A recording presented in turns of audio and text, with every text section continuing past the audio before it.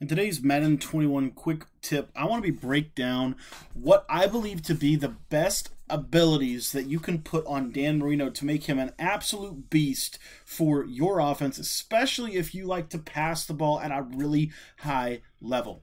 My guy, uh, guys, my name's Cody, and welcome to my YouTube channel. If you've never been a part of my YouTube channel before, I just want to thank you for stopping by, guys. We post four videos a day here on YouTube that are designed to help you, designed to help you get better at this game. And um, I just encourage you to subscribe if that's something that interests you. We also have a Discord that you can join. Um, you can join that by clicking the link in the description. It's a great place to hang out and talk Madden and really just meet new people um, and potentially new people that can help you improve in this game.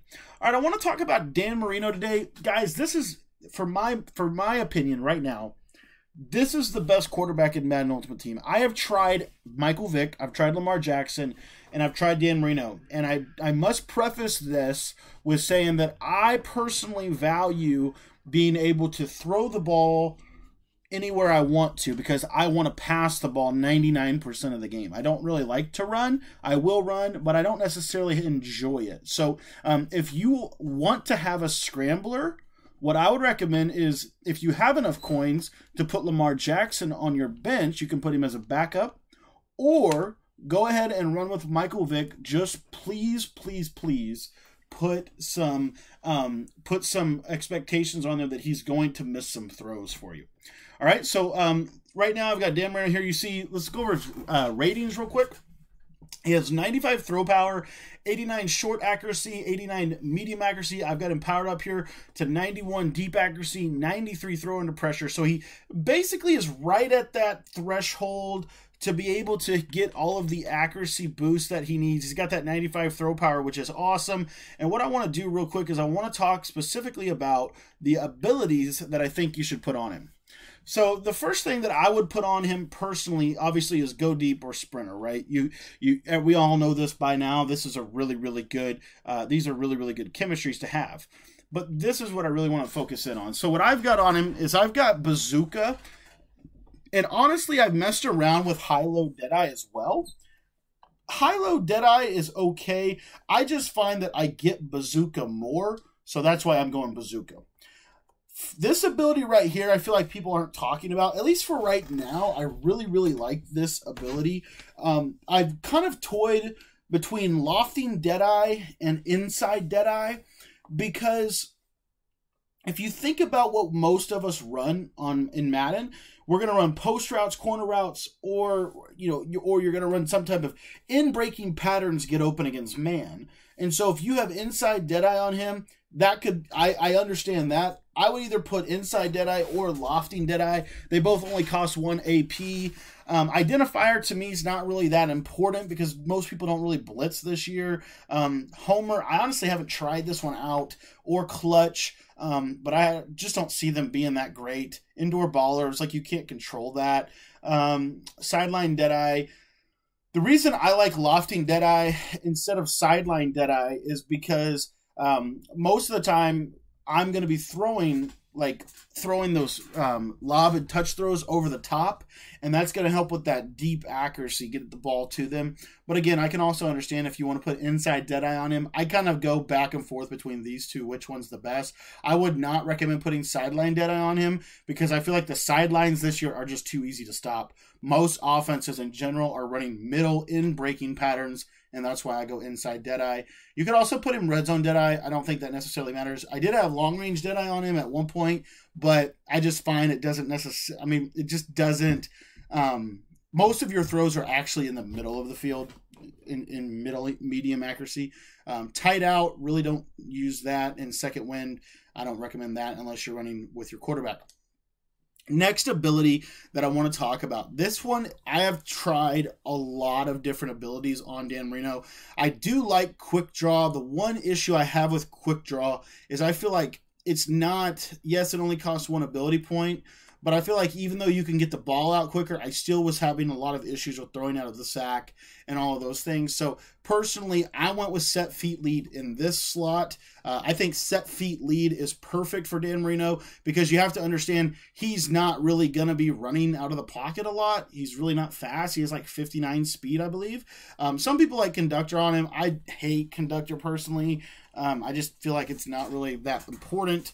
Um, but anyway, you know, I don't like conductor. Sleight of hand's not really that good. None of these really, other than if you wanted to put outside deadeye on him and inside deadeye on him, then he would get perfect throw accuracy. But the only problem with that is the ability that I'm going to talk about next, which I believe is the most important ability for Dan Marino. I, well, set feet lead is probably the most important ability, but this next one's a close second. And that is the fearless ability. Immune to defensive pressure while in the pocket. Dan Marino is a pocket passer. That's what you want to be doing with this card. You want to be stepping up into the pocket and delivering strikes consistently. And what I have found uh, is Fearless helps a lot with um, some of the different uh, pressure and accuracy that you're going to get. Basically, not going to have that with this ability. Now, what you could do if you wanted to, if you wanted to go all out Dan Marino and all out, um, you could put pocket Deadeye on him right here. He's going to get perfect accuracy from any throw inside the side of the pocket. But again, the issue that I feel like you're going to run into is you're not going to be able to beat, like those shed Ds are going to come in and you're going to have pressure and accuracy and you're going to be frustrated. My thing with Dan Marino, and this is just my, the reason I like him personally, I play with Dan Marino because I truly do not want an inaccurate throw. And I find, just for my money this year, I get a lot of inaccurate throws when the play breaks down. I don't know if you've noticed this or not, but when the play breaks down, and you start playmakering people, I have noticed that you get a lot of inaccurate throws. And so to me, Fearless can help with this. Pocket Deadeye can also help with this, but I'm going Fearless for now. Um, if you wanted to, you could put, um, you know, if you could get Pocket Deadeye right here, that's where I would put it but unfortunately you can't. So it's either inside Deadeye or lofting Deadeye for me, and you can leave that up to your choice. But these two abilities right here, I really think are very important. I think Fearless makes a bigger difference than Quick Draw, um, but once he gets Gunslinger, I'm definitely going to be putting Gunslinger on him probably or Quick Draw. But um, this is this is my favorite quarterback in the game right now. I've tried every single quarterback, and he's performed the best for me and for my offense, which my offense is 99% passing. I pass the ball the majority of the game uh, out of the air raid, you know, run a lot of uh, route combos and things like that from the Arizona Cardinals playbook. And if you guys want to check that offense out, you can check it out in the link in the description. There's a link that you can pick up my Madden 21 competitive bundle guide. It's a comprehensive ebook encompassing the Arizona Cardinals offensive scheme. And I also have it paired with my 4 6 defensive scheme. You get both ebooks for the price of one in the description right now. It's on sale. So you want to if you want to check that out, it's a really, really good offense and Dan Marino, for my money, runs it the best.